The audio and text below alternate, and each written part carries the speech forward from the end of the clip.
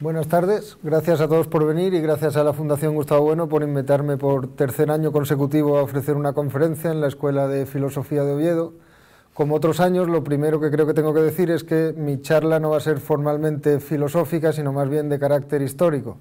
Aunque de, lo que voy a hablar es de Gibraltar, de la defensa antisubmarina durante la Guerra Fría y de, de las conexiones entre la defensa submarina y la geopolítica del estrecho de Gibraltar por un lado y el desarrollo de las ciencias oceanográficas por otro.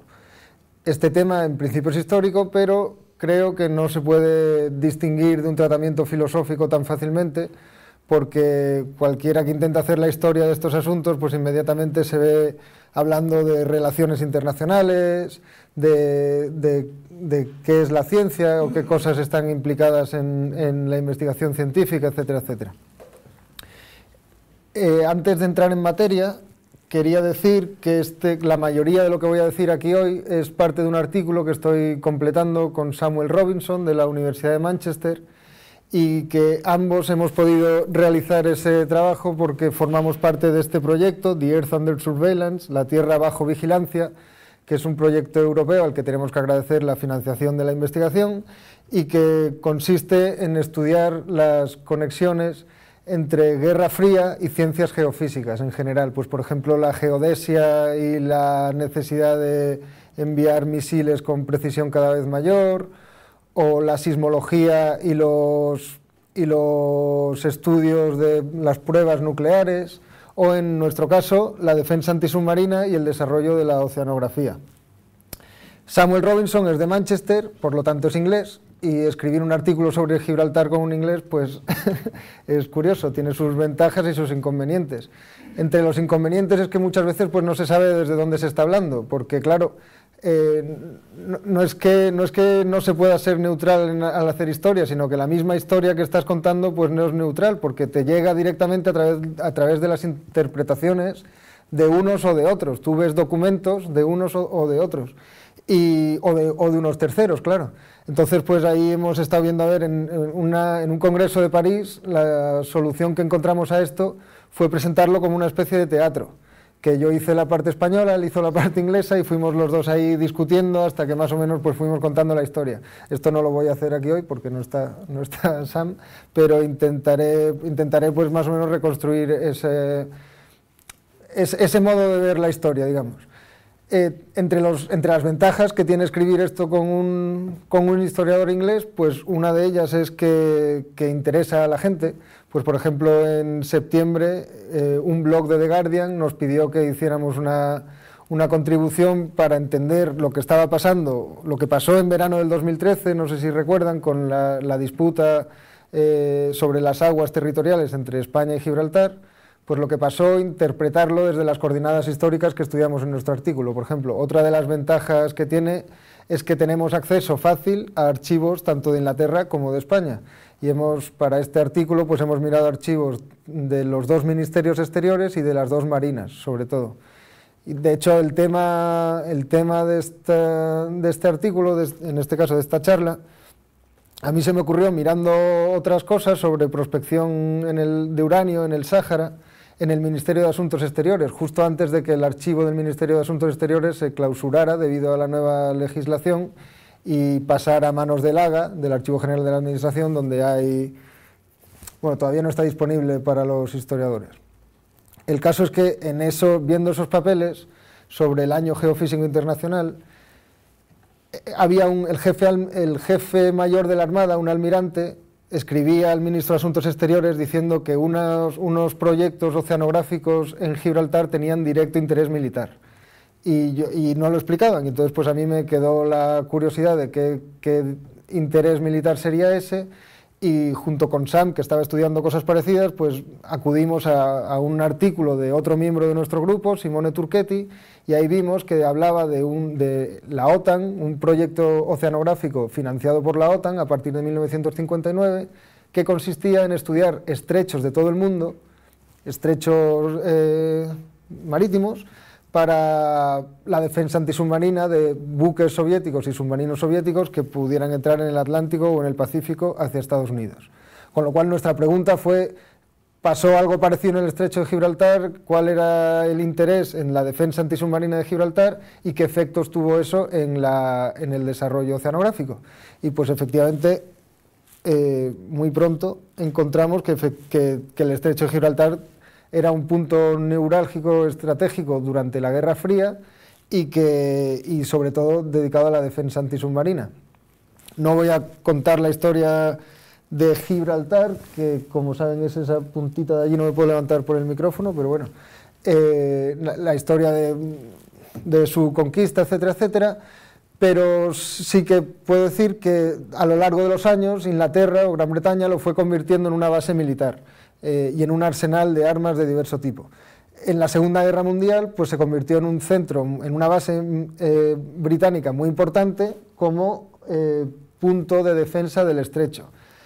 al principio de la Guerra Mundial, de la Segunda Guerra Mundial, había submarinistas italianos que partían desde Algeciras y bombardeaban buques ingleses y de hecho pues una flota cinco buques o algo así en una sola noche cayeron, buques ingleses, y luego en la segunda parte de la Segunda Guerra Mundial, cuando ya los aliados tenían la sartén por el mango, una de las razones por las cuales los aliados tenían la sartén por el mango fue porque aprendieron a, detectar y destruir los llamados U-Boots, o, los, submarinos alemanes. Y, el estrecho era uno de los puntos negros para los submarinos alemanes. Cualquiera que haya visto la película Das Boot, pues ve que, era muy difícil para un capitán alemán pasar por ahí. Eh, durante, al finalizar la guerra mundial, pues la importancia estratégica del estrecho no, no aminoró, sino al contrario. El tráfico marítimo comercial que pasaba por el estrecho era cada vez mayor, sobre todo en los 50 y 60 y 70, cuando el 60% del comercio marítimo mundial era petróleo y casi todo el petróleo venía a Inglaterra a través de sus colonias y después es colonias en Oriente Próximo y a Estados Unidos pues a través de los nuevos estados más o menos satélite como Arabia Saudí por esta zona de aquí, con lo cual todo el comercio de petróleo, que era el 60% del comercio marítimo mundial, pasaba por el estrecho. El, canal de Suez se cerró, pero mucho tiempo estuvo abierto, con lo cual gran parte del comercio mundial pasaba por aquí. Y no solo eso, sino mucho, muchos buques eh, de guerra y también submarinos. Entonces, controlar quién pasaba por el estrecho y por qué era una, era una cosa que importaba a, varios países, entre ellos, por supuesto, España e Inglaterra. En, a mediados de los 50 la cosa se puso más grave todavía con la descolonización del norte de Marruecos, la guerra en Argelia y luego en el 57 abrió la Unión Soviética una base de submarinos en Albania, con lo cual la responsabilidad que tenía el lado europeo del estrecho de Gibraltar de vigilancia de submarinos soviéticos del estrecho, pues fue en aumento. En el 54, en el 53 esto pues era importante, pero tampoco tanto. En el 54 eh, aparecen los primeros submarinos Nautilus, que son de propulsión nuclear, que tienen una autonomía muchísimo mayor. la guerra en Europa, la guerra fría en Europa, hasta entonces se estaba jugando, se calculaba en términos de bombardeos aéreos. O sea, lo que hacía falta desde el punto de vista de Estados Unidos eran bases aéreas en Europa que pudieran contener, mediante la amenaza de ataque bombardeo, que pudieran contener a la Unión Soviética. Por ejemplo, en el caso de España, los acuerdos de 1953 los famosos acuerdos entre Washington y Madrid que sacan al franquismo, digamos, de su aislamiento internacional, tienen que ver con la defensa aérea, porque Torrejón de Ardoz y la base de Morón son bases aéreas suficientemente alejadas de la Unión Soviética como para no poder ser atacadas, o sea, para tener un margen de maniobra, pero también suficientemente cerca de otros puntos de Europa como para poder defenderlas, incluso para poder bombardear la Unión Soviética con bombas atómicas si fuera necesario. En el 54, entonces España en, en ese esquema era la retaguardia de la Guerra Fría en Europa. En el 54, con los submarinos nucleares de, gran autonomía, em, existe, empieza a, ver, a, verse la posibilidad de que los submarinos soviéticos pasen al Atlántico y ataquen directamente o a Inglaterra o a Estados Unidos, con lo cual España pasa, de estar en la retaguardia de la guerra aérea a la vanguardia de la, de guerra submarina, con lo cual el, en el 54, un año después de los acuerdos del 53, se firman unos acuerdos secretos entre España y Estados Unidos que tienen que ver sobre todo con la defensa antisubmarina. Carrero Blanco en el 61 reconstruye esos acuerdos del 54 y dice que toda la estrategia de la Marina española se dedicó entonces a la defensa antisubmarina y que la Armada española pasó de ser, en palabras de Carrero, unos pocos buques viejos a una máquina perfecta de defensa antisubmarina. O sea que Carrero estaba de acuerdo con Estados Unidos, digamos, en que el, el papel fundamental de España en la defensa de Occidente en la Guerra Fría era la defensa antisubmarina, sobre todo del estrecho de Gibraltar y otros puntos, pero sobre todo del estrecho. Pero esta defensa antisubmarina pues no era siempre fácil. Los, submarinos nucleares no solo, tienen, no solo tienen mucha autonomía, sino que tienen gran velocidad y esto pues hacía que las técnicas de detección de antisubmarina de la Segunda Guerra Mundial ya no valieran. Hasta entonces, como había funcionado la cosa, era que una flota antisubmarina usaba el radar para cuando un submarino eléctrico de batería salía a la superficie, porque tenían que salir muy a menudo, el radar los detectaba y luego sonar más específico desde barcos o desde helicópteros lo, ya lo, terminaba acorralando y lo destruían. Con los nucleares no era así, porque, porque no, el radar no podía detectarlos porque podían estar muchas horas bajo el agua. Entonces se dependía más y más del sonar.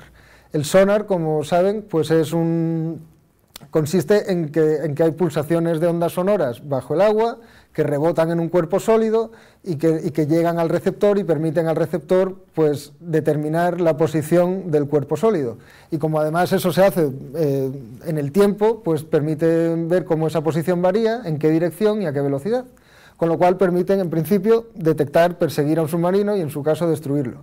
Eh, pero de hecho, no es tan fácil porque las ondas sonoras varían mucho según, muchos factores. Eh, por ejemplo, las corrientes, las mareas y sobre todo las ondas sonoras varían en velocidad según temperatura, salinidad y presión. aquí lo explica Luis Carrero Blanco también en el mismo libro de 1961, España y el mar, el tomo 3, llamado La era nuclear, eh, y que se dedica sobre todo, es un tomazo así, que se dedica sobre todo a la defensa antisubmarina, porque para Carrero era lo, era lo importante de la defensa española, pues en, en, este libro explica lo que el temido efecto sombra, que es que en un punto de inflexión muy grande de la temperatura, un cambio de temperatura muy grande, por la velocidad de las ondas, las ondas se curvan, de modo que podía dirigirse cada una a un lado y crear una capa, una capa donde un submarino podía esconderse. Conocer esa capa era muy importante para un capitán de submarino, porque si la conocía podía atravesar el estrecho sin ser visto, pero también eh, conocerla y saber cómo variaba era muy importante para el que estuviera a cargo de la defensa antisubmarina, claro.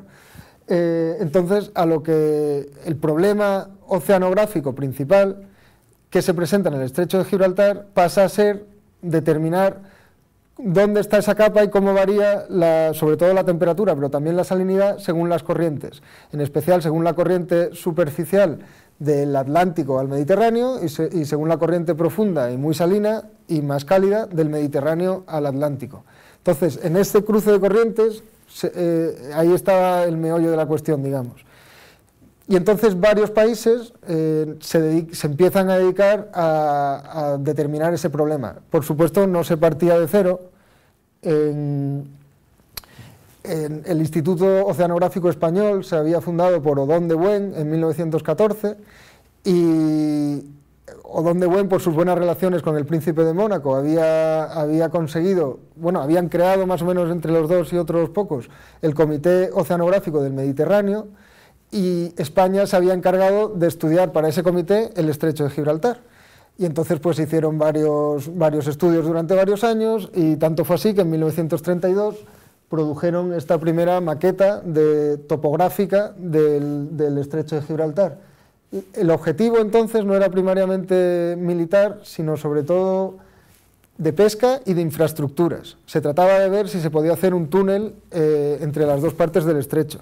Claro, como, como veis aquí, pues eso era, resultó ser mucho más difícil de lo que se pensaba, porque es profundísimo. Hay partes en solo 14 kilómetros desde Tarifa a la costa y sin embargo hay partes de, de 2 kilómetros y hasta de 4 kilómetros, un poco más hacia el mar de Alborán, con lo cual el estrecho es demasiado profundo para hacer un túnel. Pero bueno, no era el proyecto más loco, los nazis habían tenido un proyecto de hacer ni más ni menos que una presa en, en el estrecho de secar el Mediterráneo y convertir el Mediterráneo en un valle fértil para, para la nueva Europa.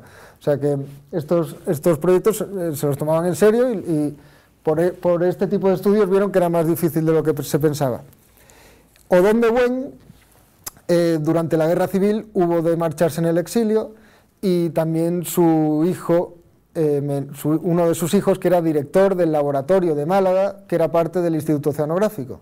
O sea que el, Instituto Oceanográfico, más o menos durante la guerra civil, queda descabezado, pero al poco de terminar la guerra, eh, Nicanor Menéndez, que es un, oceanógrafo físico, pues le nombran director del Instituto Oceanográfico. Es curioso que entre, los archivos de, de Nicanor Menéndez encontré que se formó en Alemania con una beca durante 1941 y 1942. Y entonces cuando estaba en Alemania, su jefe directo se lo encontró en la calle Alcalá y coño, tú no estabas cursando en Alemania y se inventó una serie de excusas tal, pero total, que le sancionaron, le quitaron la beca y porque estaba de vacaciones en Madrid cuando tenía que estar en Alemania. Pero bueno, a pesar de eso, el hombre llegó a, director del Instituto Oceanográfico y no solo eso, sino que en el 47 creó por primera vez el Departamento de Oceanografía Física del Instituto Oceanográfico. Eh, este departamento lo primero que hizo fue un programa de investigación del 47 al 51 sobre el estrecho de Gibraltar y el mar de Alborán. Eh, y el mar de Alborán. como, como, parte de este, de este proyecto de investigación, a partir del 52 se empezaron a publicar los resultados, tanto por Nicanor Menéndez como por su alumno predilecto, que era Edmundo Seco Serrano, entre los dos pues, publicaron varios, varios artículos sobre todo, sobre tablas de temperaturas, además comparándolas con tablas inglesas publicadas anteriormente, etcétera, tablas de temperatura, salinidad y presión, que eran las tres cosas que afectaban al sonar. en 1955 Seco Serrano hace la conexión explícita en dos charlas sobre los efectos de la, las, las aplicaciones militares de la oceanografía de la oceanografía física. Y, esto, y, de lo que están hablando es continuamente eso, de propagación de sonido, etcétera, etcétera. como están trabajando también después de los acuerdos del 53, pues pueden aprovecharse de la ayuda americana en, sonar y en batímetros, que es lo que permite eh, medir la profundidad del fondo oceánico. Claro, el siguiente paso en el 55, cuando ya están avanzando con todos estos proyectos, es intentar conseguir más colaboración internacional, porque el estrecho de Gibraltar era una cosa muy amplia y no podían hacerlo solo, claro. En el 55, con eso en mente, Nicanor Menéndez propone que el estrecho de Gibraltar entre dentro de los estudios del Año Geofísico Internacional. Y en esto pues le apoyan Francia y Estados Unidos, con lo cual entra a formar parte de eso. El año geofísico internacional es una cosa muy, muy interesante porque se hace es durante 1957 y 1958 y se hace la propaganda o la ideología del asunto es que por primera vez se unen los dos bloques enfrentados en la Guerra Fría, Oriente y Occidente, se unen en nombre de la ciencia por el bien de toda la humanidad en proyectos conjuntos de investigación, etcétera, etcétera. El eslogan, digamos, es que el lenguaje de la ciencia es común a todos los hombres. Claro, debajo de esta ideología, de hecho, el Año Geofísico Internacional lo utiliza cada nación para sus propios intereses y, ahí están cada uno viendo a ver cómo conseguir datos o cómo saber en qué, en qué momento científico, en qué grado de desarrollo científico y qué, y qué datos tiene el enemigo, cómo poder eh, apropiárselos, a, su vez mostrando lo menos posible pues por ejemplo, todo lo que se compartía eran datos brutos, cuanto más brutos mejor. Ni técnicas, ni aparatos, ni explicaciones, ni nada. Cada uno iba, en el caso de la oceanografía, cada uno iba con su barco, hacía sus mediciones y luego daba datos brutos y allí, y allí cada uno se las componga. hubo, hubo programas de investigación de todo tipo, no solo oceanográficos, sino de radiación solar, de sismología, fueron la primera red sismológica del mundo, fue con el año geofísico, de climatología, muy interesante. Y, bueno, el, hecho de que de hecho eran lo que estaban ahí colaborando, eran naciones enfrentadas y no la humanidad unida, pues hay dos ejemplos muy claros. Uno es que en 1957, en la segunda reunión de satélites artificiales, eh, la mañana de la segunda reunión apareció el coronel soviético con una amplia sonrisa y les enseñó los periódicos que acababa de lanzar Rusia el Sputnik que era totalmente secreto para Estados Unidos y que para Estados Unidos provocó una conmoción porque de pronto los rusos habían lanzado el primer satélite artificial. La conmoción es muy conocida y vamos, cambiaron los planes de estudios enteros, tanto de bachillerato como de universidad, porque les pareció que tenían que ponerse a la altura de la ciencia soviética. Otro ejemplo es el eh, que fue un resultado directo del año geofísico, es entre 1959 y 61 se firma el Tratado de la Antártida, según el cual la Antártida se declara zona eh, internacional, libre de usos militares y dedicada a la investigación científica. Y esto se ha puesto muchas veces como un ejemplo del, progreso de la ciencia por una humanidad unida frente a la política que representa una humanidad desunida. Pero de hecho eh, lo que pasó fue que durante el año geofísico se vio que la Antártida no tenía recursos económicos ni de uranio, ni de petróleo, ni de nada de eso importantes, de modo que Inglaterra y Estados Unidos prefirieron y presionaron mucho para que se declarara zona internacional para evitar la expansión militar, no solo soviética, sino también de Argentina y de Chile, que estaban reclamando territorialmente eso. Con lo cual, como Estados Unidos no tenía reclamación posible territorial que hacer, lo declaran zona internacional y ya está. Y el modo de convencer a Rusia, en parte, es por la retórica esta humanista de la, de la ciencia y la, y la humanidad unida por la ciencia. En el caso de la oceanografía, pues como he dicho al principio de la charla, el interés militar también es claro. Y por, aquella frase del almirante diciendo durante el año geofísico, oye, que estas investigaciones oceanográficas del estrecho de Gibraltar son de directo interés militar. Y efectivamente España consigue eh, formar parte, que el estrecho pasa a formar parte de una investigación que había prevista para el año geofísico del Atlántico Norte, esta zona debajo de la península ibérica con más o menos azul, con puntitos, era España se tenía que encargar de esa investigación y la zona roja era francesa. Entonces, como parte de esta colaboración, en el mar de Alborán, los franceses y los españoles inician unas expediciones conjuntas en 1958.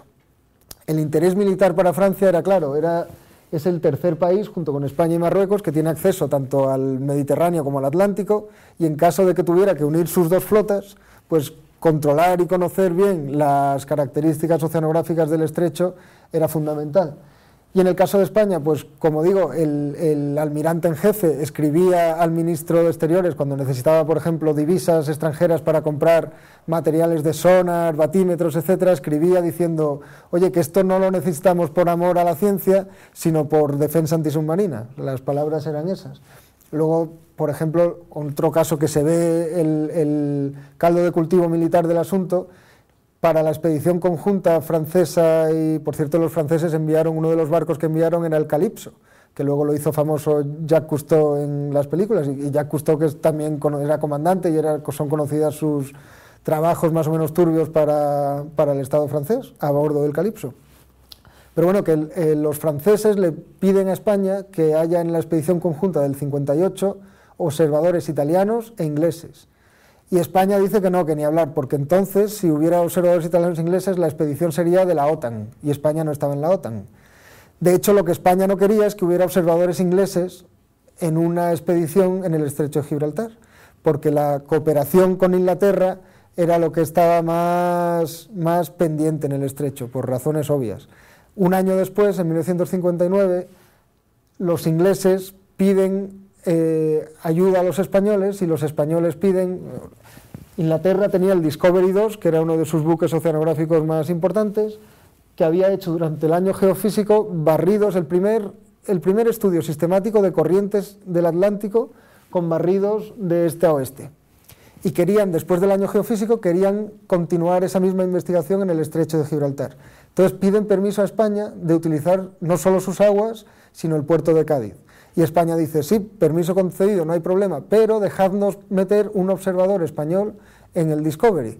Y los ingleses dicen no, con la excusa de que había poco espacio, y entonces los españoles pues dicen, pues entonces no podéis utilizar el puerto de Cádiz, les dejan utilizar las aguas porque restringir aguas es una cosa muy, muy peleaguda, pero, pero bueno, que la colaboración no era fácil. Sin embargo, sí que era más fácil la colaboración entre España y otros miembros de la OTAN, por ejemplo Francia.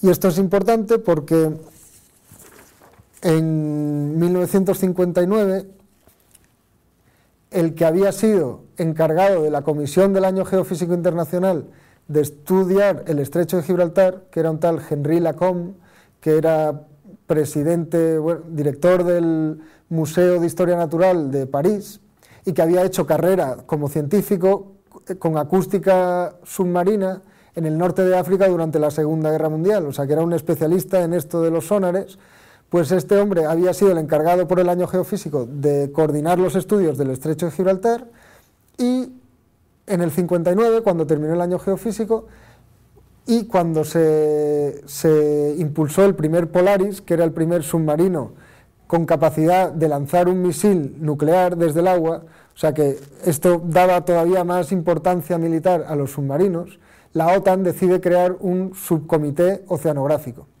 Y a quien encarga la OTAN dentro de ese comité encargarse de Gibraltar es a Henry Lacombe.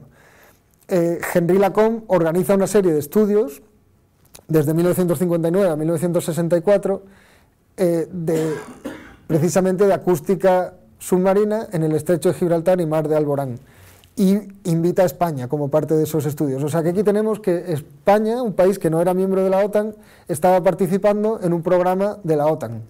Y esto llevó a Nicanor Menéndez y Seco Serrano a varias publicaciones más. Seco Serrano murió en 1962, justo cuando estaba casi terminando la tesis sobre acústica submarina en el estrecho de Gibraltar. O sea que este era el problema oceanográfico del momento, digamos, eh, tanto en la OTAN como España.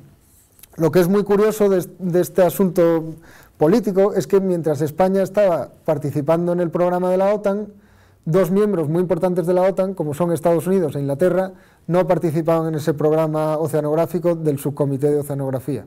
¿Por qué? Porque tenían su propio plan para la investigación oceanográfica en el estrecho de Gibraltar. En 1959, una cumbre bilateral entre Estados Unidos y Gran Bretaña crearon el estudio de defensa antisubmarina de Gibraltar. Y esto explícitamente dijeron, esto lo vamos a hacer en secreto del resto de los países de la OTAN y lo que vamos a intentar, los Estados Unidos propusieron un sistema, un sistema de, de vigilancia submarina experimental en Gibraltar y que luego se extendería por el resto del mundo. El sistema se llamaba SOSUS, Sound Surveillance System, o sea, sistema de vigilancia por sonido.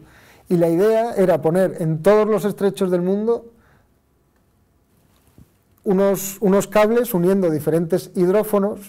Los, los hidrófonos es, también se llama sonar pasivo, o sea, en vez de emitir una pulsación sonora, lo que hacen es simplemente escuchar los sonidos que hacen, que hacen cuerpos en el agua, pues mm, desde las ballenas hasta los motores, hasta lo que sea.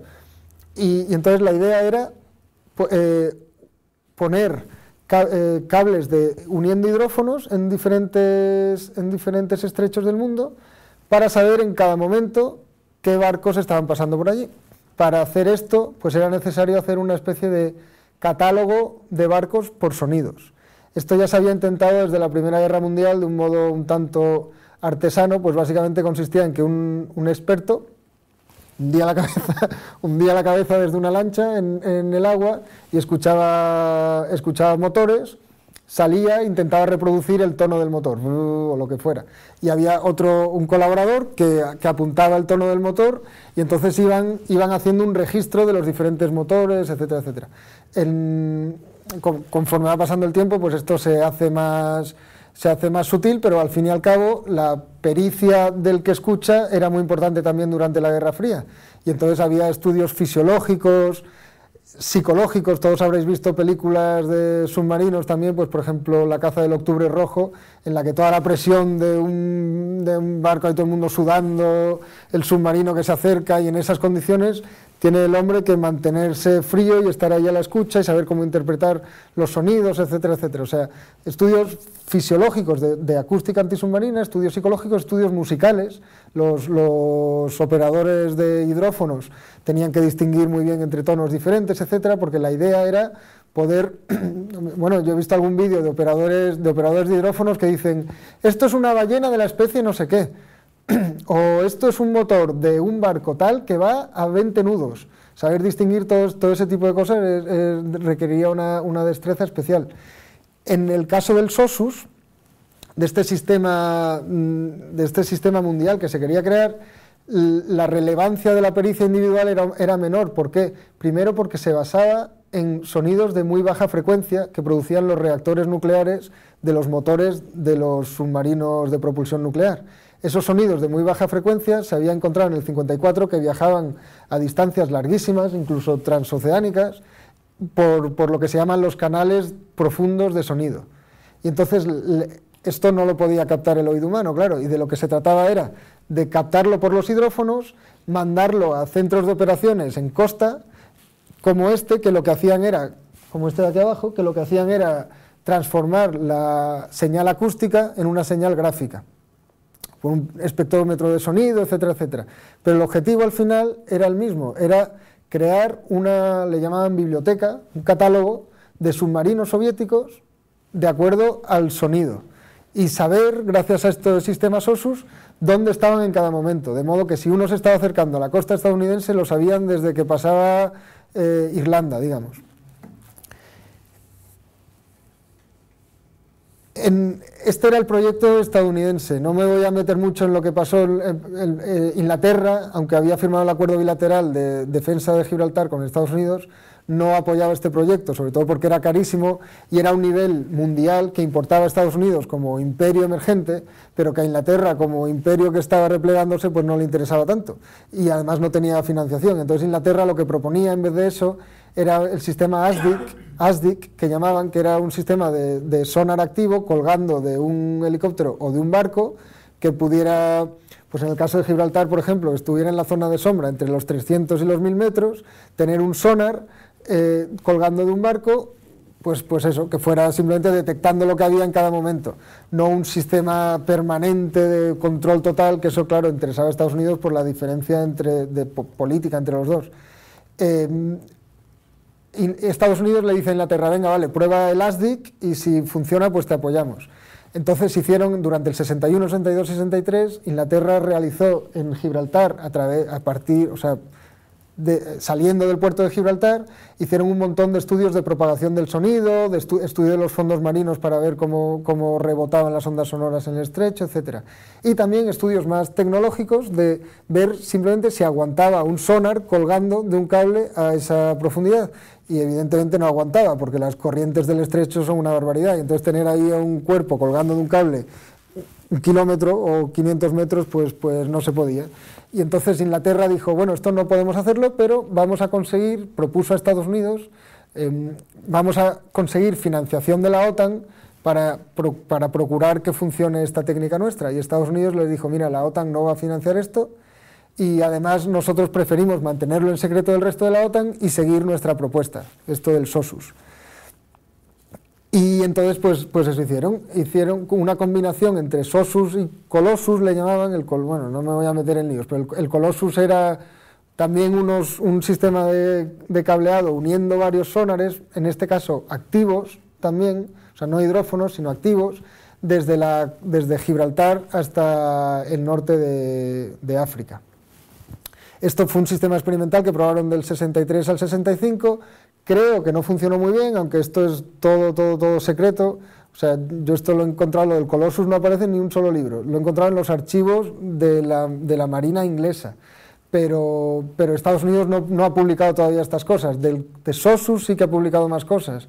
Y a finales de la Guerra Fría había unos 36 sistemas SOSUS en todo el mundo. Colossus, sin embargo, este, este sistema fijo pero activo, creo que no, que no funcionó muy bien. En cualquier caso, para que todo este esquema funcionara con apoyo inglés, pues tenía que salir de Gibraltar. Y luego podía llegar al norte de África a dos sitios, o a Marruecos o a Ceuta. Marruecos estaba un poco descartado porque Marruecos quería mantenerse neutral en la Guerra Fría y apoyar a Estados Unidos, una cosa tan importante, pues no hubiera funcionado. Aparte que Estados Unidos decidió no poner las bases en Marruecos y ponerlas en España, con lo cual la amistad con España en el plano militar hacía más fácil una colaboración con España en principio. Esto para Inglaterra tenía una contrapartida geopolítica muy interesante, y es que España podía argumentar frente a Estados Unidos, bueno, si tienes que poner un cable desde el norte de África hasta el sur de Europa, ¿por qué no lo haces solo con nosotros? Porque ¿Para qué necesitamos Gibraltar, digamos? Y de hecho, España en ese momento se da cuenta de, su, de, la, de esta situación y propone a Gran Bretaña ceder, que Gran Bretaña le ceda a España la soberanía de Gibraltar o le devuelva a España la soberanía de Gibraltar, pero a cambio España permite que Gran Bretaña siga utilizando Gibraltar como base militar. Eso sí, base militar compartida. Gran Bretaña se niega, dice que no va a ceder la soberanía la soberanía de Gibraltar, pero dice, tenemos que, tenemos que hacer algo para asegurarnos que colaboramos con España y que Estados Unidos no nos deja solos en esto. Y lo que hace es, perdón, que el, almirante en jefe de la Marina inglesa se reúne con el almirante, con Pedro Nieto, que es el ministro de Marina español entonces, se reúne y le propone poner un sistema fijo desde Gibraltar hasta Ceuta para la defensa antisubmarina. En este momento las relaciones entre las dos marinas eran buenas, llevaban colaborando desde el 59 en operaciones conjuntas en Cartagena, también donde, estaba, donde paraba mucho la sexta flota estadounidense, en operaciones conjuntas navales en Cartagena y estaban hablando de la posibilidad de hacer operaciones de, defensa antisubmarina conjuntas, ejercicios de defensa antisubmarina en Gibraltar. Entonces estaban hablando de estas posibilidades pero la situación política entre los dos países se fue, fue empeorando. Por un lado estaba el asunto de la OTAN. España quería entrar en la OTAN, Gran Bretaña decía que ni hablar. Una de las razones por las que Gran Bretaña decía que ni hablar es porque sabía muy bien que si España entraba en la OTAN, la razón principal que Inglaterra en ese momento estaba esgrimiendo para la soberanía de Gibraltar era que era una base militar importantísima en el estrecho. Si España entraba en la OTAN, Gibraltar se había convertido más o menos en una base de la OTAN. Si España entraba en la OTAN podía decir, oye, que Gibraltar es nuestra, pero sigue siendo base de la OTAN. Entonces, el modo de Gran Bretaña de mantenerlo era decir, no, no, Gibraltar no es española, con lo cual, perdón, España no es parte de la OTAN, con lo cual la única manera de que Gibraltar siga siendo una base de la OTAN es que siga perteneciendo a nosotros, digamos. Y el argumento de todas, o sea, ese es, el razonamiento real de Gran Bretaña. El argumento ideológico, pues era la democracia, por supuesto. España no puede entrar en la OTAN por falta de democracia. Pero el, el mismo argumento de la democracia lo utilizó el Partido Laborista en 1964, cuando lo ganó las elecciones y reavivó la polémica de Gibraltar eh, contra Franco. Básicamente lo que hizo, bueno, reavivó la polémica en general contra Franco. Lo que hizo fue cancelar las operaciones navales conjuntas para ese año que había previstas entre España e Inglaterra en Cartagena. Dos semanas antes de que se hicieran las de 1964 las canceló. España, muy enfadada, las realizó conjuntamente con Francia en vez de con Inglaterra, que esto es importante, y una compra que había de fragatas una venta que había prevista de fragatas de Inglaterra a España se canceló y España pasó a comprárselas a Francia junto con un submarino que le encargó. Eh, esto es importante porque De Gaulle en ese momento se estaba alejando de la OTAN y además porque, mm, porque España estaba empezando a tratar con Francia de la posibilidad de entrar en el mercado económico europeo. No, me, quiero, no me quiero meter en muchos dibujos porque la, historia es complicada, pero el caso es que a partir de 1964 se empieza a deteriorar la posibilidad de colaboración en oceanografía entre España e Inglaterra. En 1965 Gran Bretaña presenta el libro blanco sobre Gibraltar, el ministro Castilla justo después responde con el libro rojo sobre Gibraltar y poco después España denuncia eh, a Gibraltar ante el Comité de Descolonización de la ONU. En 1966 Inglaterra organiza un referéndum eh, por el que le pregunta a la población de Gibraltar si desean, eh, bueno, qué, quieren hacer, de autodeterminación, que no reconoce ni España ni las Naciones Unidas.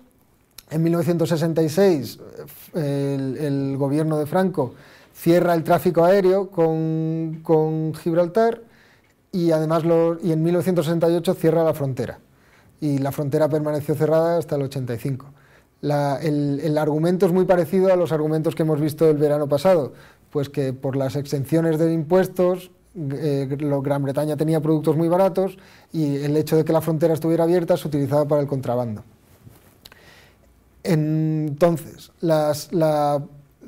ante este deterioro de la situación, los militares ingleses de la Marina inglesa escriben un montón de cartas al Ministerio de Exteriores diciendo, oye, tenéis que rebajar la tensión con España porque si no se nos están fastidiando las investigaciones oceanográficas que son de directo interés militar para la lucha antisubmarina. Y, efectivamente, pues eso es lo que pasó. Hubo, hubo varias de estas, de estas expediciones conjuntas, pues hubo que cancelarlas, eh, hubo muchas... A ver. Esto es un, tratado de 1876, no es un tratado, es un, es un, Real Decreto Unilateral de España de 1876 que declaró una, zona de no penetración alrededor de, Gibraltar. A lo largo de los años, Gran Bretaña tomó esto como sus aguas territoriales. Pero durante el franquismo, España, el argumento era que, Gran Bretaña no tenía aguas territoriales. Con lo cual, cuando la disputa llegó al máximo en el 66, 67 y 78, eh, había continuas denuncias y protestas porque unos y otros decían que la otra parte había traspasado lo que ellos consideraban sus aguas territoriales. Y es un poco también lo que, lo que pasó este verano, cuando, cuando Gibraltar tiró los bloques de hormigón famosos en la bahía de Algeciras, que es esta de aquí, pues, pues eh, España protestó y cuando España manda eh, buzos de la Guardia Civil a ver, hacer fotos de los de los bloques de hormigón, Gran Bretaña dice que están incurriendo, que, es una inmersión en sus aguas territoriales. O sea que esto sigue parecido. Y, no solo sigue parecido eso, sino que la conexión con las ciencias marinas pues también sigue viva, porque unos y otros, en la disputa de este verano pasado, eh, utilizaban argumentos más o menos ecologistas. Los, ingleses tiraron los bloques de hormigón teóricamente para crear un arrecife artificial donde pudiera reproducirse la fauna y la flora de, la bahía. Y los, y los españoles decían, ya, pero es que vosotros estáis utilizando vuestras supuestas aguas territoriales para hacer el bunkering llamado, el repostaje en alta mar, que, claro, de nuevo, por las exenciones de impuestos a Gibraltar, venden gasolina muy barata y muchos de los buques que pasan por el Mediterráneo paran a repostar en alta mar, lo cual, pues evidentemente, contamina las aguas y todo eso. O sea, que, esa, esa, vinculación entre disputas de aguas territoriales y ciencias marinas se, se mantiene hoy en día como se mantuvo en los 60.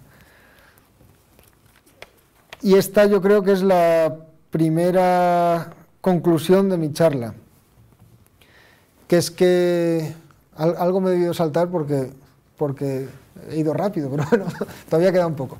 La primera conclusión es que las, las, disputas geopolíticas tenían mucho que ver con la oceanografía y la oceanografía a la vez servía como herramienta diplomática entre, entre los dos gobiernos.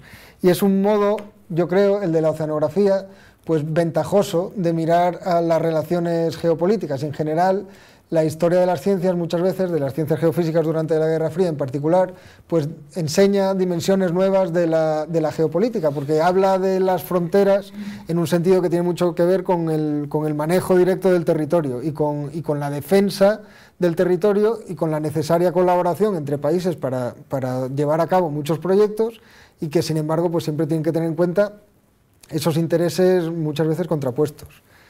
La segunda de las conclusiones de esta historia pues es, eh, tiene que ver con, esta imagen que todos conoceréis de 1972, que por ejemplo Thomas Lovejoy en la hipótesis Gaia describió como la, la primera vez, como un paso importante en la concepción unitaria del medio ambiente, del medio ambiente a nivel terrestre. Y no solo eso, sino en cuanto a lo que tiene que ver a la filosofía de las ciencias, de la unidad de todas las ciencias en torno a la Tierra, porque para Lovejoy era un ejemplo de cómo la NASA, que es que con sus, con, mediante un lanzamiento de cohetes, etcétera, o sea, las ciencias físicas y geofísicas, cómo se unían a las ciencias biológicas y ecológicas en una visión unitaria de la Tierra. Eh, esto es curioso porque Robert Poole, en un libro que aparecerá próximamente del proyecto este nuestro de Teus, eh, un capítulo que él tiene en ese libro, argumenta con razón que esto es de 1972 y, los, y claro, los viajes del Apolo tenían ya muchos años, en el 69 ya se había llegado a la Luna. Entonces, ¿por qué la primera imagen bien hecha de la Tierra es de 1972? Porque la NASA cuando, iba, cuando salía al espacio no tenía interés ninguno en fotografiar la Tierra. Las cámaras para fotografiar la Tierra no, no, no, las, no era su prioridad, sino que miraban hacia el espacio. Y sin embargo, dice Robert Poole, había muchas ciencias durante la Guerra Fría, en los años anteriores a 1972, que ya estaban apoyando esta idea del medio ambiente como una cosa unitaria y holística. Y al fin y al cabo esto es un modo en el que, que las ciencias de la Guerra Fría, diversas ciencias de la Guerra Fría, pues eh, apoyaron o posibilitaron una reedición del mito de la naturaleza, de una naturaleza en la que todo está conectado con todo.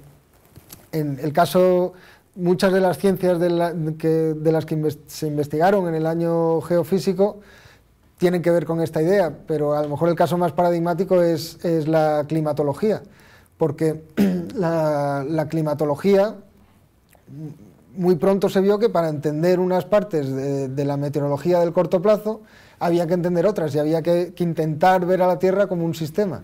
De hecho, Paul Edwards, en un libro reciente que se llama eh, Una vasta máquina, a vast machine, una máquina inmensa, pues lo que estudia es el desarrollo de la climatología desde este, desde este punto de vista, de cómo a través de datos muy parciales y muy locales se, va, se van construyendo modelos globales.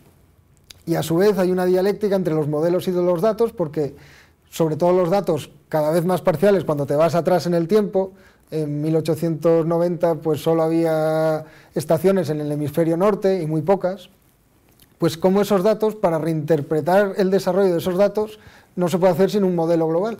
Y entonces, claro, hay, aunque todas estas ciencias, incluidas la oceanografía, llevan a la idea de un medio ambiente unificado y de unas ciencias ambientales unificadas, de hecho muchas veces esta, esta idea es más intencional, o sea, es más un deseo que un resultado efectivo, porque de hecho cada ciencia pues tiene que trabajar con, lo que, con, con sus propios términos. Esto ya lo Evaristo Álvarez, en el libro que tiene La filosofía de las ciencias de la Tierra, de lo que habla es que la geología no tiene como objeto la Tierra, sino que tiene como objeto pues, las diaclasas, las rocas metamórficas, etc. Pues lo mismo pasa en el caso de todas las ciencias geofísicas en general o medioambientales, que es un modo de llamarlas, pero de hecho cada una se encarga de objetos muy concretos, la sismología, pues de lo que diga el sismógrafo, etc. Y, luego, luego sí, luego se, se, intenta poner en común lo que hagan esas, pero todos los datos o resultados de esas diversas ciencias con mayor o peor fortuna pero la idea de, una ciencia a escala planetaria no parte de ninguna de esas ciencias, sino que es una especie de, deseo al que se va, pero no es una idea en sí misma científica. Muy relacionado con esto, bueno, entonces la, la oceanografía en la del estrecho de Gibraltar también es una de estas ciencias que contribuye a la idea de una ciencia global del mundo entero.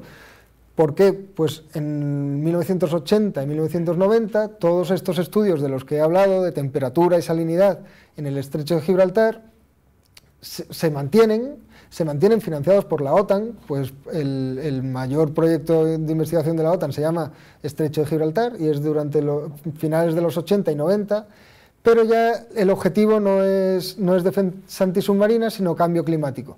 Entonces, lo que están estudiando es cómo, el Mediterráneo y el Atlántico, los flujos y reflujos entre el Mediterráneo y el Atlántico, y cómo, eso, y, cómo la temperatura, los cambios de temperatura de uno y otro viajan por corrientes a través de, todo el Atlántico Norte, etc. Entonces, de lo que se trata es de conectar, en los 90, es de conectar todos esos estudios de temperatura oceánica con estudios climatológicos a nivel global y de, nuevo pues contribuir a, esta ciencia unificada de la Tierra, digamos. Pero claro, lo hacen desde el punto de vista de la oceanografía, no lo hacen desde otro punto de vista y lo hacen desde las prácticas de las que he estado hablando aquí hoy. Pues eso, mediciones concretas de temperatura, etc. La otra conclusión tiene que ver un poco más en general y esto a lo mejor que me perdonen los que no sean de filosofía, pero bueno, creo que más o menos se puede entender, que es que tiene que ver con las relaciones entre historia de la ciencia y filosofía de la ciencia, y más en particular con la filosofía de la ciencia del cierre categorial. Em, normalmente, por ejemplo, la tectónica de placas, la historia de la tectónica de placas se suele explicar como la sucesión de varias teorías. Pues por ejemplo la de la, de la, contricción, que es una especie, un modelo de la Tierra como una manzana que se seca y entonces crea unos valles, etc. La de la, de la deriva continental de Wegener y luego ya la del 68, la de los 60, también muy relacionada con la Guerra Fría, de la tectónica de placas. Y entonces, por ejemplo, Naomi Oreskes tiene un libro muy bueno, tiene dos libros muy buenos sobre, sobre esta historia.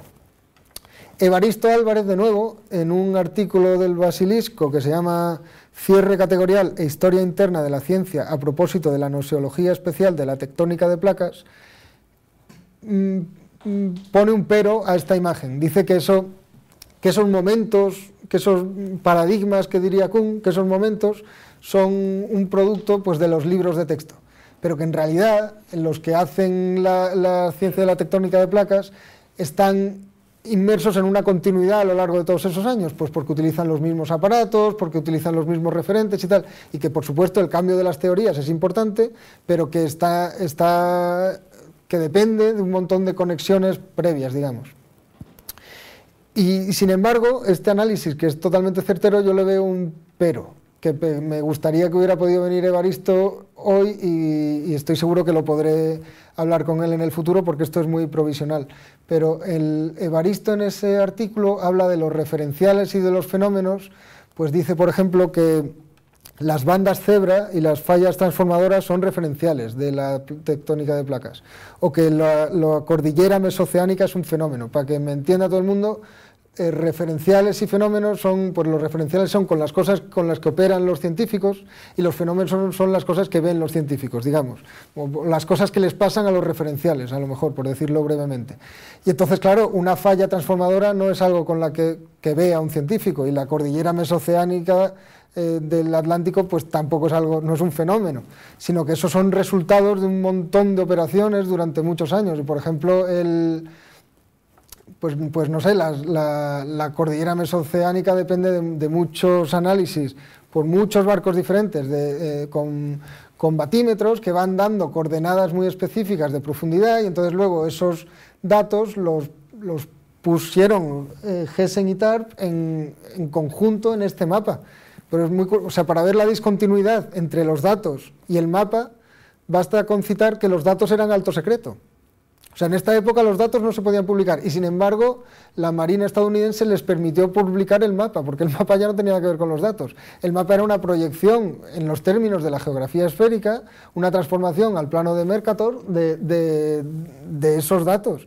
Y entonces, una vez que se ve así, pues te sale efectivamente la cordillera mesoceánica. Pero esto no es una cosa que se vea, ni siquiera hoy en día con los satélites se ve así sino que depende de, identidades entre diversas mediciones. Por ejemplo, relacionando la cordillera del norte del Atlántico con la cordillera del sur del Atlántico. Y lo mismo para las llamadas eh, bandas cebra, que son unas, unas mediciones magnéticas del fondo oceánico, que eso tampoco, es tampoco se puede decir que es un referencial, ni mucho menos, sino que es un producto de, muchas mediciones magnéticas, también relacionadas con la defensa antisubmarina, por cierto, porque un modo de detectar submarinos era, era mm, pues eso, magnéticamente, y también con la navegación en general. Pues, y luego, claro, una vez, una vez que, esas, que esas identidades ya sistemáticas, que, que, son las bandas cebras y las cordilleras, se ponen en conjunto, pues, pues producen una imagen según la cual las bandas cebra se pueden datar eh, según su distancia respecto de la cordillera de la cordillera mesoatlántica. Y ya pues se propone la hipótesis de que entonces pues van saliendo digamos de la cordillera hacia allá. Y ya es la tectónica de placas pues, con la teoría explicativa de la convección y tal. Pero a lo que voy es que la escala correcta nosológica de análisis digamos la escala adecuada para un análisis interno de la ciencia es la que tiene que ver con las operaciones de los científicos, para ver, para ver efectivamente qué son las, referenciales, etc. Entonces, cuando Evaristo en ese artículo, que ya digo que es muy bueno y muy interesante, sobre todo en lo que tiene de reflexión sobre la historia y la filosofía de la ciencia. Evaristo dice que los submarinos, o que los motivos por los que los submarinos estaban haciendo estos estudios son de historia externa de la ciencia. Y es verdad, yo no estoy aquí diciendo que, que, esté haciendo una historia interna de la oceanografía. Sin embargo, me parece que, esa, que, el estudio en particular de los submarinos, de lo que hacían los submarinos, de qué mediciones se llevaban a cabo, de cómo se ponían todas esas cosas en conjunto, eso tiene que ser parte de la historia interna de la ciencia, o al menos tenido en cuenta por la historia interna de la ciencia, porque por, eso, por lo, mismo que dice Baristo luego más adelante en el artículo, porque la historia nosológica de la ciencia se da al nivel de, los cursos operatorios y de, cómo esos cursos se relacionan entre sí. O sea que la, historia de la ciencia pues tiene que ver con, con, las mediciones, con los objetivos de esas mediciones y con, y con los contextos determinantes que las hacen posible. Y nada más, muchas gracias.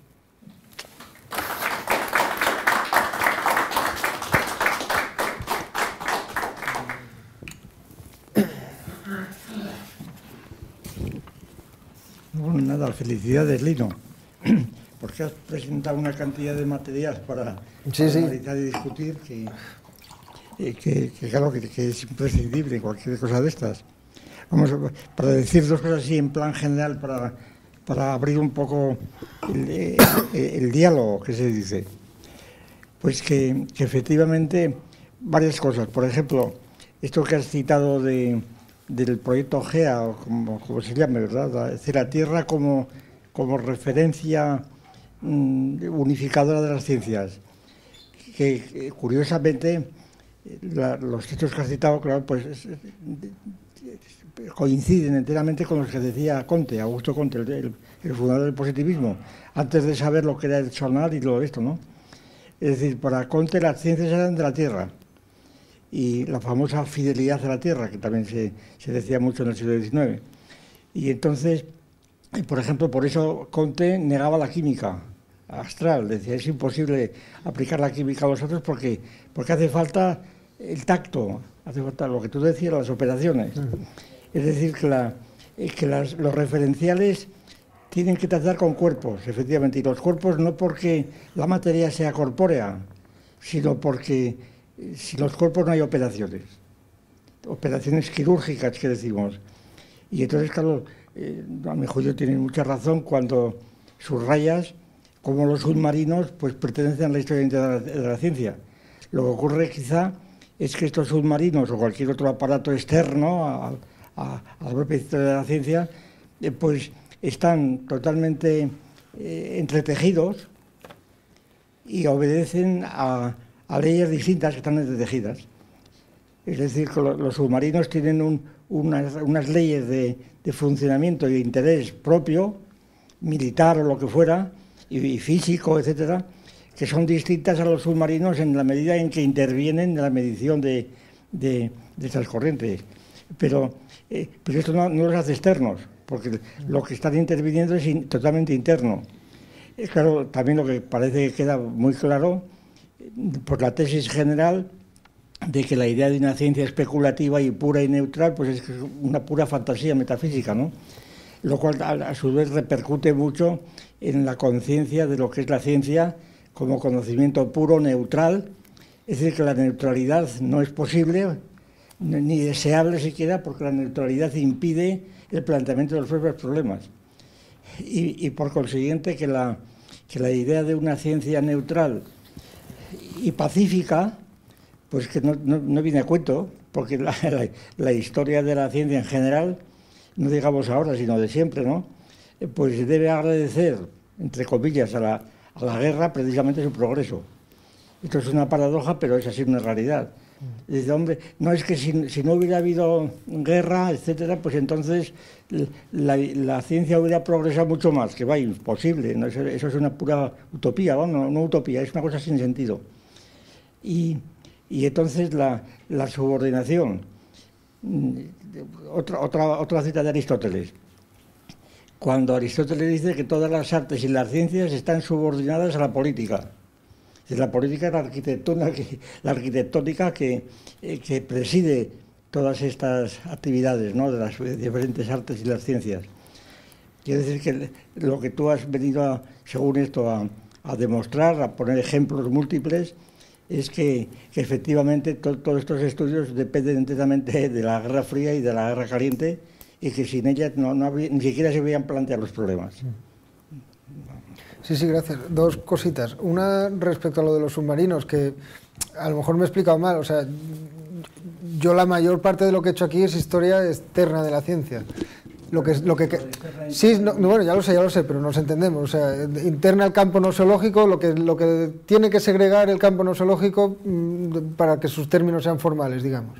Pues, pues ahí el caso es que eh, yo, yo estoy, o sea, esto es historia externa en principio. Lo que estaba diciendo es que hace falta bajar a esta escala de la historia externa para que se nos presenten los términos formales de la historia interna. Quiero decir, que si, no se, si no, porque es que si no es imposible.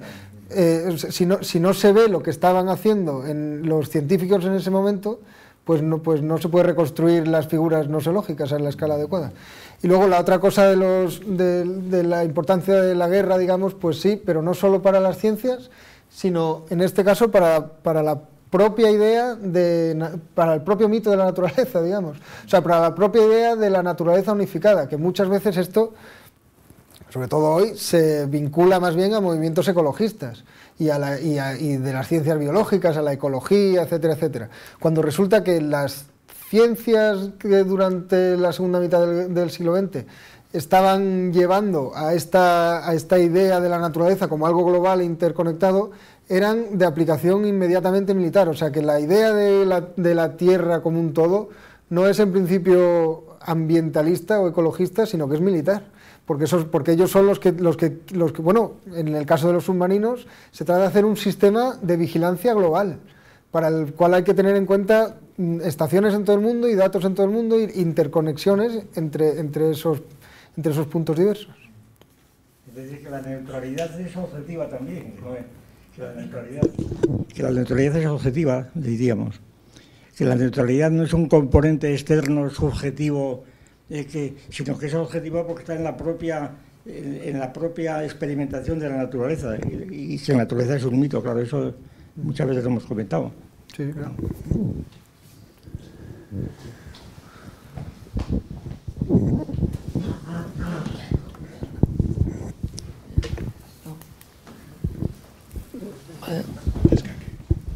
Sí, y yo no quiero entrar en la especulación acerca de si la ciencia rinde cuentas de sí misma en la ciudad eh, o quién eh, hace efectivamente eso.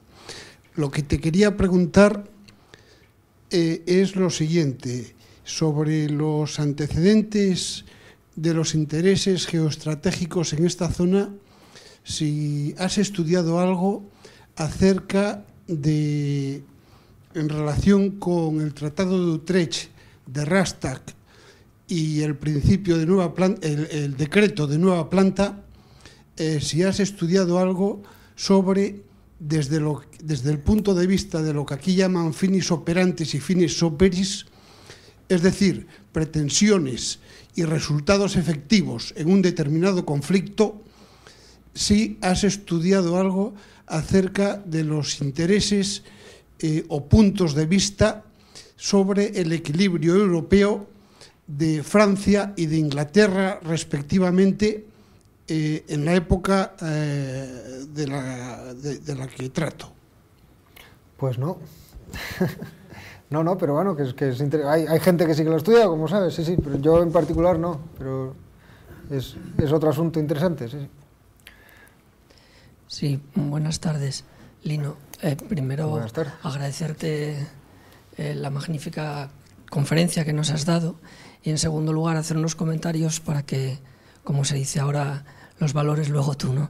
Eh, sobre todo que tienen que ver con, con las ciencias geopolíticas y con la historia de España, porque mm, lo común hoy día es pensar que y de hecho la bibliografía al uso así lo manifiesta, que España durante el periodo correspondiente al singular régimen del 18 de julio, pues suele decir que hubo un tiempo de silencio geopolítico y de relaciones internacionales y que solamente las relaciones de, internacionales habían, habrían florecido eh, pues o bien en los tiempos de la República o, o, posteriormente a la muerte de Francisco Franco. ¿no? Y sin embargo lo que estamos viendo en lo que acabas de decir es que hubo unas tramas de relaciones internacionales en las que España era un actor más, como pudo haber sido en los, en los años del 39 al 43 en la Segunda Guerra Mundial y además unas relaciones internacionales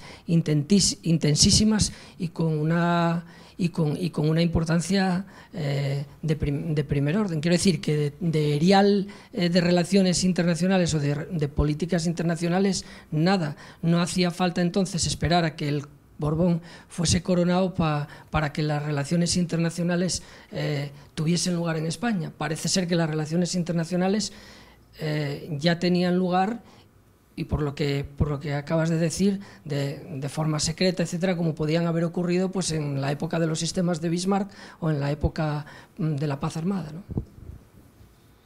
sí sí claro pero bueno que también o sea que eso casi todos los historiadores del periodo lo, dicen ¿eh? y lo saben que por, porque porque es imposible estudiar a España de, en esa en la España de Franco sin las relaciones internacionales o sea que una cosa es digamos la imagen de los de los medios y otra cosa es lo...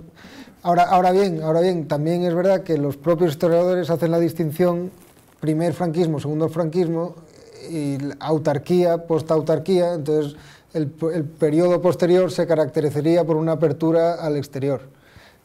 Y, y, el caso es que durante los años de la autarquía, que son pues eso, del 39 al 59, también había conexiones internacionales necesarias. A partir del 51 con Estados Unidos, por créditos y tal, que se, que se materializaron luego en, en 1953 con el, con el, tratado y luego también con el Tratado del Vaticano de esa misma época.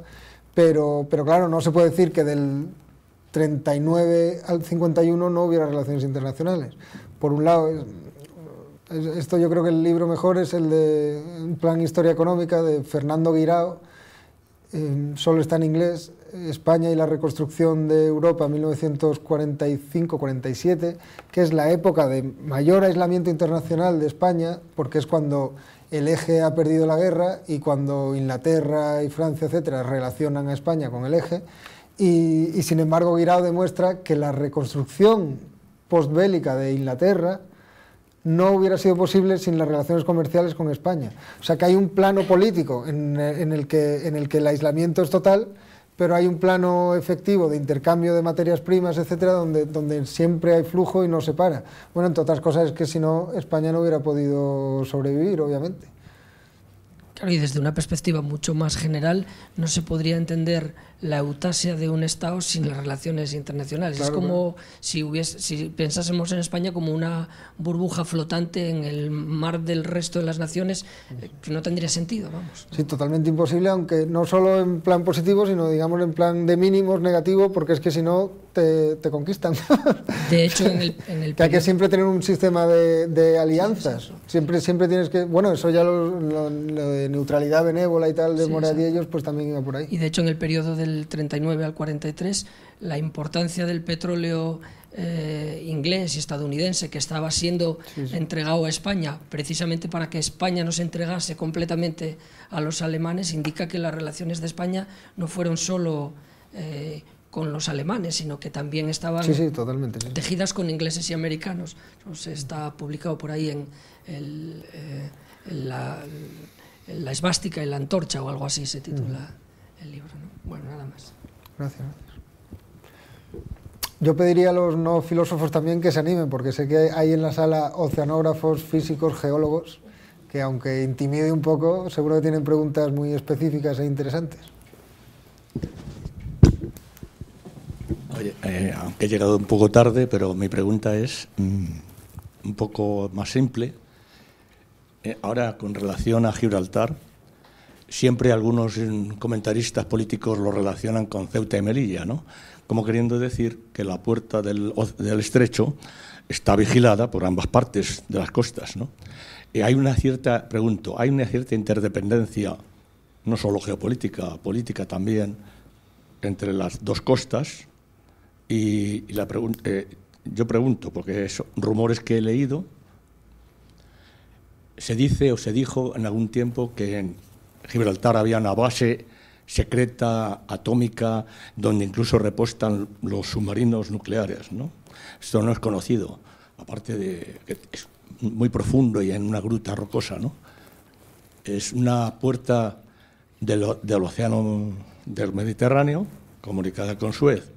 Por supuesto, esa puerta tan importante no se deja a, control de un país que económica y políticamente tiene poca importancia, independientemente del régimen que tenga. ¿no?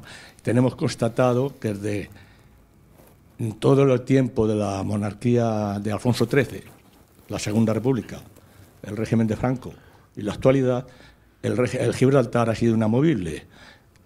Entonces, el otro día salía en la prensa que, bueno, que no sea, desde el año 75 acá, el tema Gibraltar se ha silenciado. Y entonces, como tú has dicho muy bien, ha reaparecido con motivo de los conflictos de las rocas que arrojan al suelo del, mar. La pregunta es, ¿esta política de la lucha por Gibraltar no es cierto que está siendo minimizada por los medios de comunicación o tratada de una forma anecdótica, como si fuera un problema de contrabando, cuando realmente Gibraltar como Suez tiene un poder geopolítico para las marinas soviéticas, bueno, rusa, que tiene que entrar desde el Mar Negro para fondear en Siria, y toda la guerra mundial también está condicionada por Gibraltar. Incluso hay un dato muy divertido que, me he leído hace poco, poco conocido, a lo mejor es falso, de que los aliados entraron en el norte de África con permiso de Franco a través del Marruecos español, ¿eh? por lo cual se demuestra que la, historia no es tan sencilla como la presentan de blanco y negro, sino que hay, como has dicho, aquí se ha dicho, no hubo, en mi opinión, una realmente aislación, aislamiento de España, sino una especie de, digamos, mm, restricción de las relaciones internacionales, pero aquí se hablaba todo el tiempo de la amistad con los pueblos hispanoamericanos, Argentina, los países árabes, etcétera. Y por supuesto que en la Guerra Civil Española, América, Inglaterra y tal estuvieron suministrando petróleo a la zona nacional de Franco. O sea que aquí creo que se ha tratado el tema un poco esquemáticamente. Bueno, y para finalizar, yo ahora lo relaciono y puede ser que me esté pasando, no sé, de listo, en el problema fronterizo que se plantea últimamente en Ceuta y Melilla con las mareadas, vamos a llamarla, de inmigrantes subsaharianos que llegan en masa, hoy el país dice 30.000 que quieren asaltar, no se puede intentar pensar que todo está relacionado, Gibraltar, la inmigración masiva de a, Europa a través de a través de Ceuta Melilla, y en el cual, porque siempre se ha relacionado la soberanía de España sobre Gibraltar, que no se puede negociar mientras España tenga posesión de las plazas de soberanía norte de África, ¿no? Pero ahora viene el problema que está alguien diciendo que si con motivo de la de la invasión de subsaharianos a Ceuta Melilla, España ya tiene una excusa para perder esas plazas y dice que como Europa se desentiende, y ya termino la pregunta, ¿Ceuta y Melilla están bajo protección de la NATO? Porque yo creo que no, yo creo que no. O por lo menos están bajo, están en cobertura de, del mercado común, o sea, de la Unión Europea junto con Canarias. Esa es la, el, digamos, pues el, planteamiento que yo quería, son muchas... no, se ha, no se ha mencionado aquí. No, no, no, son es que es imposible mencionar todo lo que tiene que ver con el estrecho y son muchas preguntas y no voy a... yo digo que el, planteamiento político de Gibraltar, no ya de reivindicar la soberanía española, sino la importancia que tiene sí, sí, total, relacionada con Ceuta Melilla y el tráfico a través del Mediterráneo, eh, pregunto porque llega tarde, ¿lo has planteado o ha pasado? Sí, sí, de eso, o sea, por eso, sí, sí, o sea, al principio de la charla lo que decía es que, es que el, sobre todo en los 60 y 70, el 60% del comercio mundial es de petróleo y ese, y ese comercio pasa por el estrecho de Gibraltar y que la defensa, o sea, precisamente lo que yo estoy intentando hablar aquí es cómo la importancia geopolítica de la defensa de Gibraltar eh, llevó a, diversos estudios oceanográficos por la necesidad de la defensa antisubmarina. O sea, Gibraltar es uno de los puntos calientes de la geopolítica internacional, claro. Y efectivamente ahí las plazas de Ceuta y Melilla tienen mucha importancia. Y, efectivamente Hassan... Y, efectivamente Hassan puso, puso como condición para para Ceuta y Melilla lo de Gibraltar. O sea, siempre se han, siempre se han conectado las dos cosas, Ceuta y Melilla y Gibraltar. Respecto a la, respecto a la, a la defensa del estrecho, esto al final depende, todo esto, todo esto depende de si la OTAN apoya Ceuta, Melilla, tal, todo esto depende de, la fuerza de los estados nacionales. La OTAN hará lo que quieran hacer sus, sus miembros más poderosos y punto. Y esto lo sabe muy bien Inglaterra, porque no es solo España la que tiene aquí un problema, sino que al principio de la Guerra Fría, con los, con los pactos de 1953, Estados Unidos pone una base, bueno, no una base, pero prácticamente en Cartagena, uno de los puertos predilectos de la Sexta Flota, y una base de, en Rota, que al principio es pequeña, pero que a partir de 1954 se convierte en una base eh, submarina bastante grande. Con lo cual tenemos que el estrecho lo pasa a controlar Estados Unidos. Y, Gran Bretaña y, y, España en ese momento tiene no solo el sur de Europa, de la península, sino que tiene el norte de Marruecos como protectorado. O sea que ahí Inglaterra no pintaba nada. Y, Inglaterra, de hecho, de lo que se preocupa es decir, joder, que, entre, con los pactos del 53, entre España y Estados Unidos se bastan y se sobran para controlar el estrecho. Y entonces dice Inglaterra con razón, como sigan así, llevándose también España y Estados Unidos, me van a quitar el peñón de Gibraltar. Y entonces la estrategia de Gibraltar es hacer el peñón importante para la OTAN. Es decirle a Estados Unidos, oye, que no, que yo te voy a proporcionar toda la ayuda que necesites para tus para tus para la defensa antisubmarina y más ayuda que, España. Y, además en colaboración con España si puedo. Esa es la estrategia de, Inglaterra. Y mientras tanto, pues efectivamente, Gibraltar se convirtió en el mayor arsenal nuclear eh, de Gran Bretaña. Está no, no en roca submarina, sino en la roca del Peñón de Gibraltar, que caben unas 25.000 personas por dentro, y no sé si habéis visitado alguna vez, que es muy bonito, con los monitos, tal y cual, los pájaros, es uno de los sitios de ornitología más importantes de Europa, tal y cual, bueno, pues por dentro tiene el mayor arsenal nuclear de, Gran Bretaña, y, una de las disputas por aguas territoriales que siempre tenían en los 60 y 70 era por el atraque de submarinos de propulsión nuclear ingleses, en, el puerto sin permiso, claro, cruzaban por aguas españolas sin permiso, sin permiso de las autoridades españolas. Eh, perdón, yo creo haber leído en algún sitio, no lo tengo claro, que Ceuta, Melilla y Canarias no están bajo cobertura ni de NATO ni de la Unión Europea. Yo eso no, no lo sé, la verdad. Que, el, Ceuta y Melilla no están consideradas como el territorio europeo por la Unión Europea. Yo solo dudo en cambio, por ejemplo, las posiciones francesas de por ahí, de, América y el océano, están consideradas. Canarias seguro que sí. Y, Ceuta y Melilla sospecho que también. ¿eh? Pero, pero vamos, que no lo sé, tampoco, tampoco me voy a pelear por eso porque no lo sé. Pero me extrañaría muchísimo. ¿eh? Pero bueno. Bueno, en primer lugar, Lino, enhorabuena. Es una charla impresionante y además se entiende que es hoy en día muy importante cuando uno va a charlas que no son de la especialidad, entender, pues es, es que se entienda lo que se dice es un logro, no utilizas terminología rara, entonces enhorabuena y además porque todo lo que has hablado de cosas eh, físicas eh, ha sido muy preciso y se entiende todo de maravilla. Yo no te voy a hacer ninguna pregunta concreta mm, sobre tu charla porque eh, se sale del ámbito de mi especialidad, pero sí comentar que bueno, lo que decía don Gustavo de que por supuesto las guerras son, eh, digamos, un, catalizador de los avances científicos, yo creo que es verdad, pero hoy en día también mucho la economía, porque yo que me muevo en el ámbito de la modelización matemática, entonces, por ejemplo, si bien todos estos modelos que hay ahora matemáticos globales sobre eh, las corrientes eh, están muy en boga por el cambio climático y es más, hay varios modelos, todos los corren y no dan las mismas predicciones, ninguno de, estos cinco o seis modelos que hay, eh, digamos, más famosos.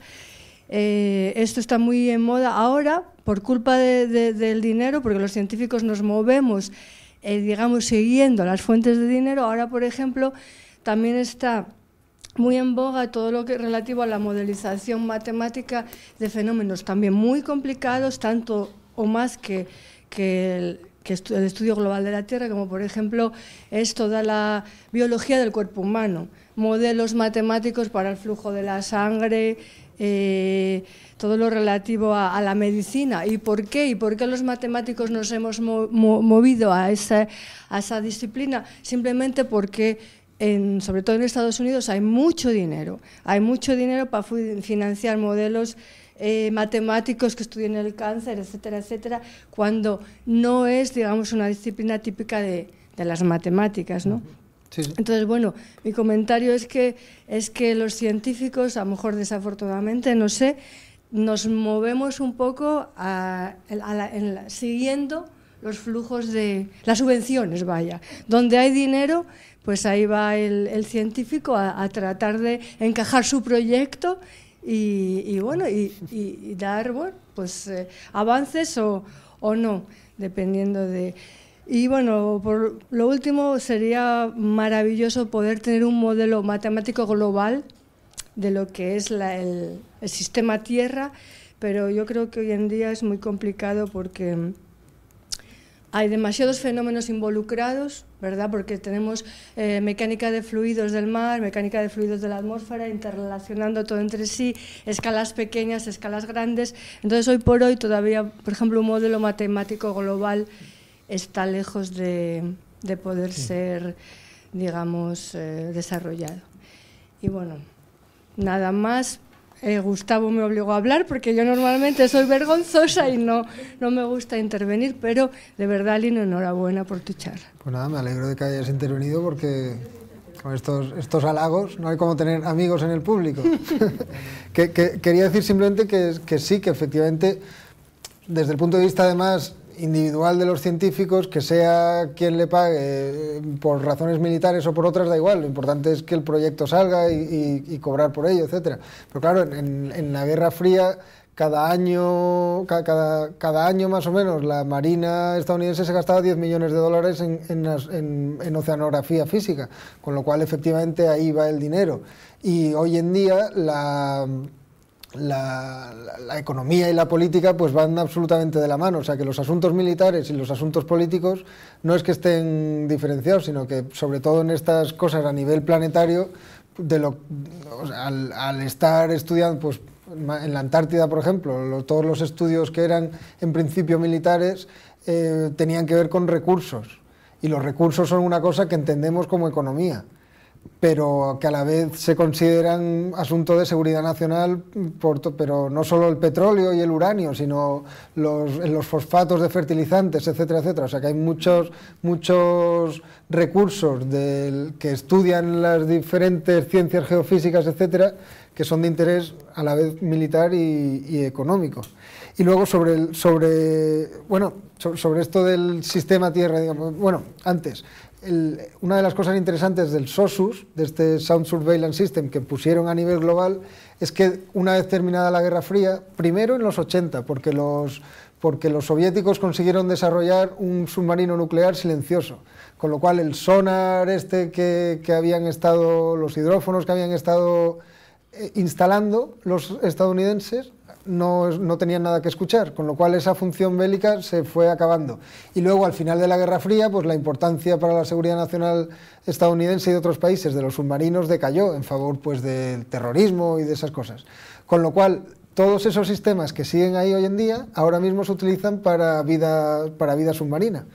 Y, gracias a ellos pues hay, hay un montón de flujos de, de modelos de flujos de población de, de vida submarina, no solo por motivos ecologistas, pues saber cuántas ballenas quedan y tal y cual, sino para saber dónde están los bancos de pesca y qué evolución tienen, si se están, si se están gastando, si están acabando, etcétera, etcétera. O sea que la, que la relación con las ciencias marinas, con la biología, eh, es también directa. Y luego sobre todo el sistema Tierra, pues a eso es precisamente a lo que me refería, que el sistema Tierra, digamos, es un deseo de, de varias ciencias más que un hecho efectivo, porque tanto tanto, digamos, em, intencionalmente, o sea, las, de hecho no se puede medir la ecología de la Tierra, sino que son siempre mediciones locales que luego se extrapolan mediante modelos.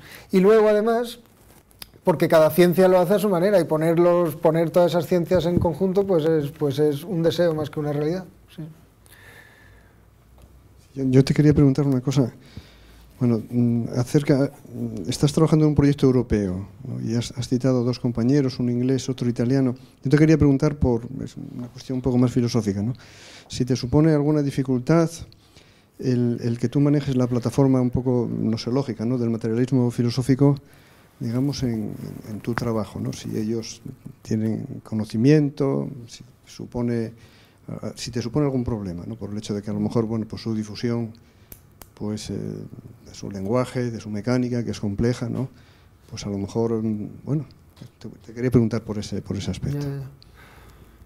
Pues, pues en principio no, pero porque tampoco intento yo, o sea, tampoco pretendo que poder utilizar el materialismo en este tipo de análisis, porque, porque está siempre como, como implícito, pero no muchas veces no, no, me pongo a hablar de, de los referenciales, etcétera. Ese, ese, vocabulario no hace falta utilizarlo para hablar de estos temas. Además es que es que una cosa es tenerlo como armazón conceptual, digamos, y otra cosa es necesitar mm, utilizarlo explícitamente cada vez que se utilice, porque no, no creo que haga falta y porque evidentemente una cosa es citarlo y otra cosa es, necesitar utilizar su vocabulario en, cada ocasión, porque además,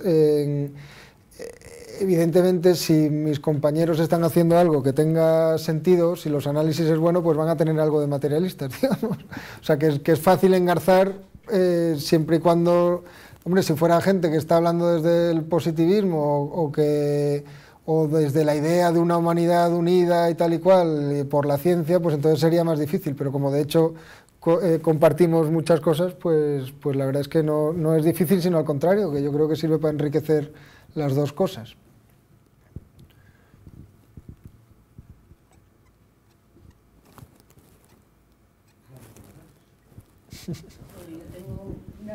Micrófono, micrófono usar el micrófono, pero bueno, aquí es que estáis haciendo preguntas que muy sofisticadas que enlazan pues eh, temas históricos y temas también filosóficos, pero mi pregunta es muy sencilla. Tengo dos. Eh, una de ellas, en la batimetría esta que pones aquí del estrecho de Gibraltar, en la imagen que pones, ¿por qué aparece el estrecho que no tiene... Bueno, ahí no, en la anterior. Ah. Ahí se ve que está la topografía y la batimetría, ah. y aquí, sin embargo, pones un parche azul marcando el estrecho. ¿Eso qué quiere decir? ¿Que es extraordinariamente profundo respecto de lo que tiene alrededor o simplemente es para marcar un polígono ahí del área del que estás tratando? Esto no es un análisis batimétrico, sino es lo que arroja... La topografía. pero es lo que arroja Google, Google Maps o Google Earth. O sea, esto lo he copiado yo directamente eh, de Google Son isometrías, ¿no? ¿Es una batimetría del fondo o, que, o es la respuesta que, que yo sepa es una foto satélite. Sí. O sea, que no que esa, esa ese polígono ah, ahí no está puesto por nada, no, es porque sea extraordinariamente profundo respecto de lo que tiene alrededor. Yo no lo he puesto, no, eh, por lo que, pero vamos, debe ser, debe ser porque está en sombra esa zona, ¿no? Igual que estas cordilleras en sombra. No, igual es que realmente yo no, no lo sé, lo desconozco, igual es que es mucho más profundo, que lo que tiene alrededor. Pero mira, esto de Gibraltar es se ve realmente como un cañón, ¿no? Es igualmente profundo, es más profundo, más para la parte de Gibraltar, mira. ¿Veis aquí? O sea que yo creo que tiene más que ver con, las con las sombras. ¿eh? Con la, eh, sí. pero... No, me entraba la duda de decir que es que realmente eso es una, una olla topográfica, tan, que, porque mi idea del estrecho de Gibraltar es que sí que realmente el fondo del Mediterráneo está más elevado que el fondo del, del Atlántico, pero yo entendía como que había un salto, no que realmente había una depresión profunda y que pasaba... No creo que sea más profundo que, otras... O sea, las zonas más profundas están al, al este de Gibraltar, yo creo. Y luego la, el mar de Alborán, por ejemplo, que es aquí, esto es una isla, ahí en medio, no puedo levantar, la isla de Alborán pasa de pronto de, ser muy profundo a, tener ahí un pico y las, y, las, y las corrientes que entran del Atlántico se hacen ahí unos líos importantes porque no, no, pueden pasar por allá fácilmente. O sea que no, no creo que esta, esta zona del medio sea más profundo que otras, pero, pero es muy, pero muy profundo sí que es, es sorprendentemente profundo para el que no lo sepa porque ves la costa ahí, sin embargo, está, muy por abajo. Y luego también me quedó alguna duda, también cosas muy simples, muy básicas sobre la, eh, eh, cuando comentabas eh, los hidrófonos, que, bueno, me quedaba la duda, ¿siguen todavía esa red, esa infraestructura sigue todavía atendida? ¿Sabes a qué profundidad van o qué distribución tienen? depende, porque hay, hay 36, no 36 hidrófonos, sino 36 sistemas. líneas que muchos sistemas tienen más de una línea y que cada uno tiene su central de operaciones y tal. Entonces depende muchísimo de cada estrecho porque hay... Eh, centrándonos nada más que en Gibraltar, ¿hay nada más que una línea de, de hidrófonos? Es que es todo secreto, o sea, yo no lo sé. Yo, sé. yo sé que en Gibraltar hay SOSUS seguro, pero se ¿Y que ahora actualmente sigue funcionando? No creo que desde Gibraltar, sino desde Rota. Desde Rota. Pero no lo sé seguro tampoco y no sé, y no sé, no sé por ejemplo, si enlaza con el norte de África y dónde enlaza, eso no... Eh, y luego ya lo última también otra pregunta muy sencilla sobre datos básicos. Cuando hablaste un poco, dices, bueno, pues es que ahora toda esa información, el tema logístico y militar ha pasado a un segundo plano y realmente con todos esos datos que se están o que se han obtenido se hacen modelos de circulación oceánica, ¿no? Comentabas que se sabe que la salinidad del Mediterráneo es mucho más alta, la temperatura también y las corrientes que, que ocurren, ¿no? Y que la unión entre el Atlántico y el Mediterráneo. Y a mí me entró la duda, aparte de los hidrófonos para coger ondas acústicas, ¿había algún otro tipo de sensor de temperatura o de salinidad? en la misma línea, Sí, sí, los, batímetros eh, pasaron a ser batitermógrafos porque iban siempre con, medidor de temperatura incorporado. Sí, sí, sí, sí claro. O sea, la propagación sonora no, no, te da la temperatura, sino que la temperatura te ayuda a entender los resultados del sonar. O sea, para entender las ondas sonoras había que estudiar temperatura, salinidad y eso, pero eso es por otra vía, sí, sí. Vale, pues era muy básico nada más que eso. No, gracias, gracias.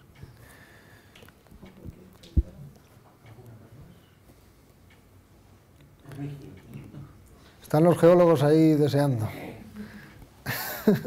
¿Sí? ¿No? Bueno. ¿Qué ha pasado? Ya estamos, ¿no? Pues muchas gracias.